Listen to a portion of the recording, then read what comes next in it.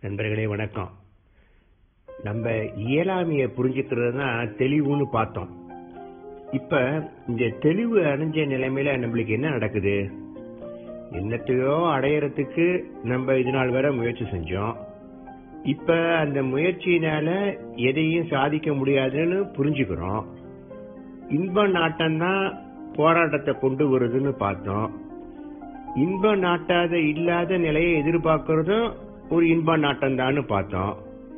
இப்படி எந்த மாதிரி முயற்சி செஞ்சாலும் அது நம்மளோட தவறான அணுகுமுறையோட தான் அதை கொண்டு போய் மாத்தி விட்டுருது. மனோ நாசத்தை அடையறதுக்கு முயற்சி செஞ்சோம். இந்த மனோ நாசத்தை அடையிற முயற்சி செய்யற நான் அப்படிங்கிற அம்சமும் அது மனோ லயத்தோட அம்சம் தான் தெரிஞ்சுக்கிட்டோம். அப்புறம் மனோ லயத்தால எம்புட்டு தான் முயற்சி செஞ்சாலும் அது மனோ நாசத்தை சென்று அடைய முடியாது அப்படின்னு கூட நம்ம பார்த்தோம். இப்படி நம்மளோட இயலாமைய புரிஞ்சுக்கிட்டதால நம்மளோட மன இயக்கம் ஒன்றும் இல்லாம போயிடுறது கிடையாது. அப்ப கூட அது வேற வகையில இயங்க ஆரம்பிச்சிடுது. இது வரைக்கும் முயற்சி முயற்சின்னு மட்டுமே ஈடுபட்டு வந்த மனசு வந்து இப்ப முயற்சியை மேலும் கையாள முடியாத நிலைமையில அந்த முயற்சியற்ற நிலைமையிலேயே இயங்க ஆரம்பிச்சிடுது. எதையோ தேடி தேடி ஓடிக்கிட்டு இருந்த மனசு வந்து தேடுதல் இல்லாம இயங்க ஆரம்பிச்சிடுது. இது ஒன்றும் ரொம்ப அரிதான நிலை கிடையாது. நம்ம எல்லாத்தாலையும் ரொம்ப ஈஸியா புரிஞ்சிக்கக்கூடிய ரொம்ப எளிதா அடையாளம் காணக்கூடிய ஒரு சர்வசாதாரணமான நிலை தான் அதோட இதுதான் நம்ம மனசோட இயற்கையான நிலை இயல்பான நிலையும் கூட. உங்களுக்கு எல்லாம் தெரியும் கொஞ்ச வருஷத்துக்கு முன்னாடி அதிபர் சதாம் ஹுசேன் ஈராக்ல ஒருத்தர் அவரோட மரண செய்தியை பத்தி ஒரு செய்தி பேப்பர்ல வந்துச்சு. அதாவது அவர் எந்த கலக்கமும் இல்லாம ரொம்ப அமைதியா மரணத்தை ஏத்துக்கிட்டாருன்னு சொல்லிட்டு. இப்படி எப்ப ஒருத்தர் நிர்கதியான நிலைமையில இருக்கிறாரோ அப்ப அவரோட மனசு வந்து இது மாதிரி நிலைமையில தான் செயல்படுது. அதுவே மரணத்தை எதிர்கொள்ள வேண்டிய ஒருத்தருக்கு அதுல இருந்து தப்பிக்கிறதுக்கு எதுனாச்சும் ஒரு வாய்ப்பு இருக்கு பட்சத்துல அவருக்கு வந்து ஒரு மன கலக்கம் வந்துடுது. அங்க வந்து ஒரு முயற்சியும் போராட்டமும் கூட வந்துடுது.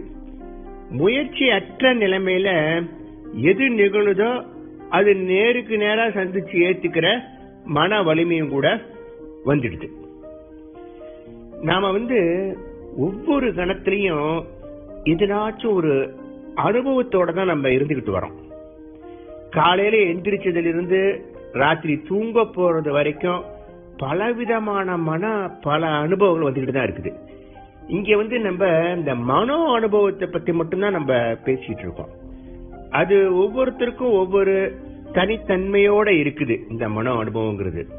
இப்ப வந்து நம்ம ஒவ்வொருத்தருக்கும் ஒவ்வொரு விதமான மன இயல்பு இருக்குது. நம்ம பிறந்தது முதல் நம்ம இயல்பு வந்து நம்ம அப்படியே தொடர்ந்துகிட்டே வருது. நம்ம அப்பா அம்மா கிட்ட இருந்து இரத்த மூல காரணமா வருது. நம்ம வளர்ப்பு பழக்க வழக்கம் நம்மளோட அனுபவம் மூலமாகவும் கூட நம்ம இயல்பு வந்து அமைஞ்சிருக்குது. நம்மளுக்கு ஏற்படுற மனோ அனுபவம் எல்லாத்துக்குமே காரணமா நம்மளோட இயல்பு தான் இருக்குது. ஒவ்வொருத்தருக்கும் அவங்கவுங்க இயல்புக்கு ஏற்ற அனுபவம் தான் ஏற்படுது. இந்த மனோ அனுபவம் இயல்பை பற்றியெல்லாம் நம்ம நாளைக்கு கொஞ்சம் விவரமா பேசலாம். நன்றி வணக்கம். நண்பர்களே வணக்கம். நம்ம நேற்றுக்கு வந்து இந்த மனோ இயல்பு மனோ அனுபவத்தை பற்றி பேசிகிட்டு இருந்தோம். இப்போ வந்து நம்ம ஒரு பூங்காவில் வந்து ஒரு மானை பார்க்குறோன்னு வச்சுக்கோங்களேன். நம்ம ஒரு ஓவியனாக இருந்தோம்னா அதை வரைகிறது சம்பந்தமான எண்ணம்லாம் நமக்கு வரும். அதுவே நம்ம ஒரு வேட்டைக்காரனாக இருந்தோம்னா அந்த மான் வேட்டையை பற்றிய எண்ணம்லாம் நமக்கு வரும். சிலருக்கு மானோட விளையாடுறதுக்கும் இல்லை மானோட போட்டோ எடுக்கிறதுக்கு கூட தோணலாம். இதெல்லாம் அவங்க இயல்பை பொறுத்து இருக்கு. இப்படி ஒரே நிகழ்வு நடந்தாலும் நம்ம இயல்புக்கு ஏத்த எண்ணமும் அந்த எண்ணத்துக்கு ஏத்த அனுபவமும் நம்மளுக்கு வருது. இப்ப ஒரு இசை பெட்டிய வந்து பார்த்தோம்னாக்கா அதுல பலவிதமான இசையை ஏற்படுத்துற கட்டங்கள்லாம் இருக்கு. ஒவ்வொரு கட்டையை அழுத்தினா அது ஒவ்வொரு விதமான இசை வருது அதுல. இந்த மாதிரி நம்மளோட இயல்புலையும் பலவிதமான உணர்வை வெளிப்படுத்துற மாதிரி அம்சங்கள்லாம் இருக்குது. அந்தந்த சூழ்நிலையை நிர்வாகம் பண்ற நோக்கத்துல அந்தந்த சூழ்நிலைக்கு ஏற்ப உணர்வு தான் நம்ம கிட்ட இருந்து வெளிப்பட்டுட்டு வருது.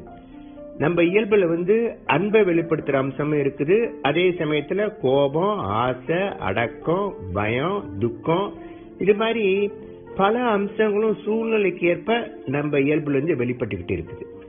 நாம வந்து பெரும்பாலும் அன்பையும் அடக்கத்தையும் ஆனந்தத்தையும் நம்ம நல்ல உணர்வா கருதுறோம்.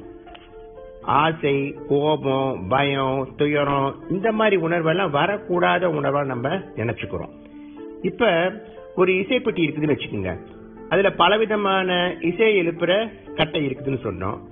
இதுல சிலது அமுக்குனா வர இசை வந்து நம்மளுக்கு பிடிக்கலன்னா அந்த கட்டையை பிடுங்கி போட்டுட்டோம்னு வச்சுக்கோங்க. அப்புறம் வந்து அது ஒரு இசைப்பெட்டி மாதிரியே இருக்காது. அதே மாதிரி நம்ம உணர்வுலையும் நல்லது கெட்டது அப்படிங்கிற பாகுபாடு எதுவும் கிடையாது. எல்லா உணர்வுமே ஒரு சராசரி மனித உணர்வு தான். இதுல உயர்ந்த உணர்வு இல்ல தாழ்ந்த உணர்வு தெய்வீக உணர்வு அப்படிங்கிற பாகுபாடெல்லாம் ஒண்ணுமே கிடையாது. அப்புறம் இங்க பிரச்சனை எங்கன்னாக்க சில உணர்வு வந்து தேவைக்கு அதிகமா ஏற்படுறது உண்டு. சில உணர்வு வந்து மறையறதுக்கு கொஞ்சம் கால அவகாசம் எடுத்துக்குது. அதனால நாமே நம்ம உணர்வை எடுத்து போராடுற மாதிரி ஒரு சூழ்நிலை உருவாகி போயிடுது. ஆனா இதுல நம்ம ஏற்கனவே பார்த்த மாதிரி நம்ம உணர்வுல இருந்து எது வெளிப்பட்டாலும் அதோட ஆயுசு வந்து ஜஸ்ட் ஒரு அரை நொடி தான்.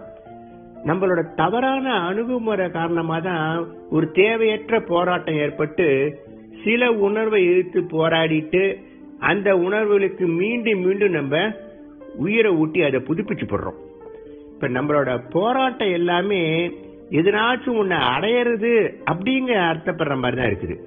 இப்ப துன்பம் ஏற்பட்டா துன்பமற்ற நிலை வேணும் அப்படின்னு சொல்லி முயற்சி பண்றோம். பயம் வந்தா பயம் இல்லாத நிலை வேணும் அப்படின்னு சொல்லி விரும்புறோம். இன்பமான நிலை ஏற்பட்டா அதை தக்க வச்சுக்கிறதுக்கு முயற்சி பண்றோம்.